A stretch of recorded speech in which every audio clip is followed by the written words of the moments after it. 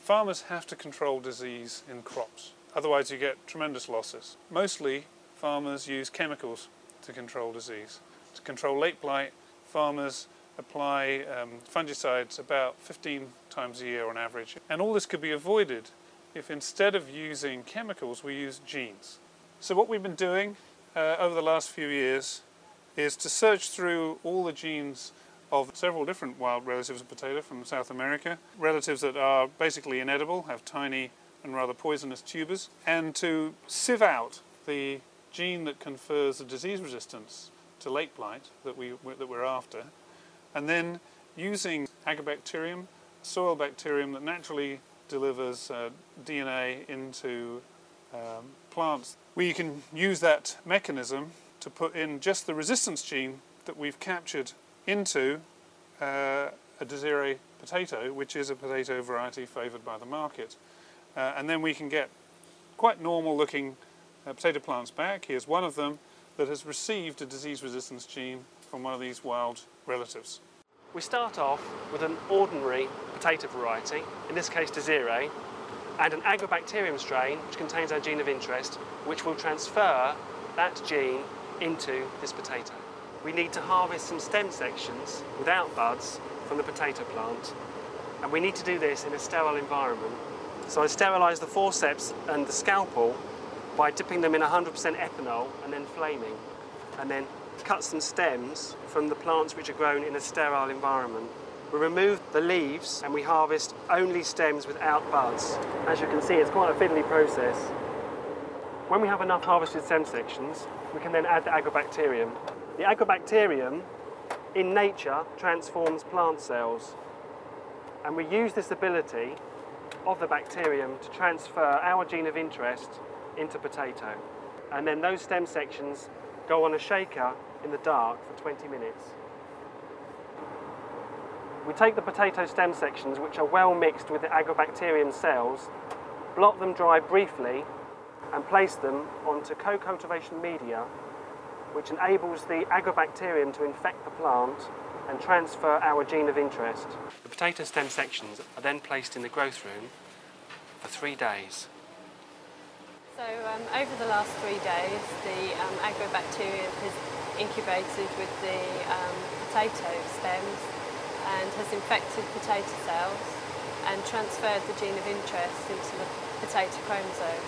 So what I'm now doing is transferring the potato stems to the new media which will select for plants that um, contain the agrobacterium.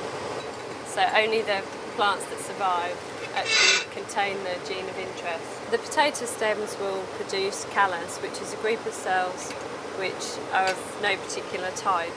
The plates are placed into the growth room and every seven to ten days they'll be put onto fresh media.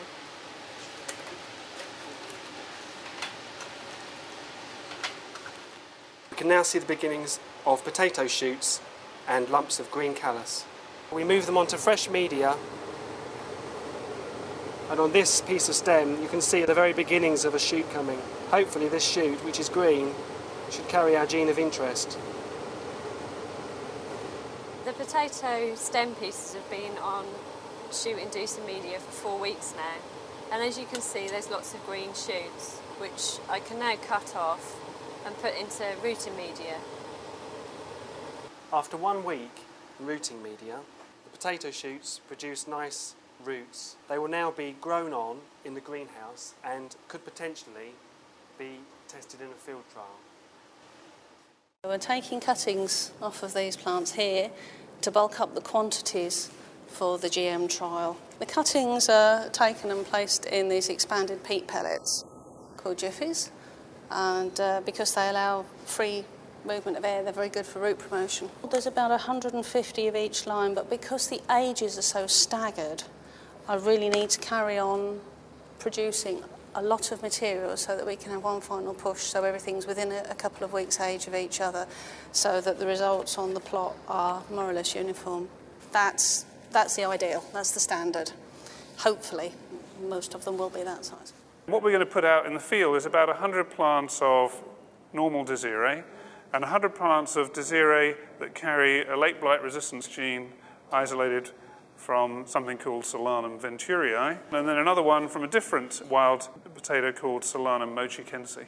So we'll be trialling these two GM lines, and we hope to see that these GM varieties are blight resistant, whereas the Desiree itself goes down to late blight. Late blight is a very um, versatile pathogen, a rapidly evolving pathogen. So for this to be a long-term strategy, we need to be continuously isolating new uh, late blight resistance genes and putting them into um, the varieties we want to consume. There's a great deal of um, natural variation for resistance out there, and with new technology, uh, it's getting easier and easier to isolate the corresponding genes.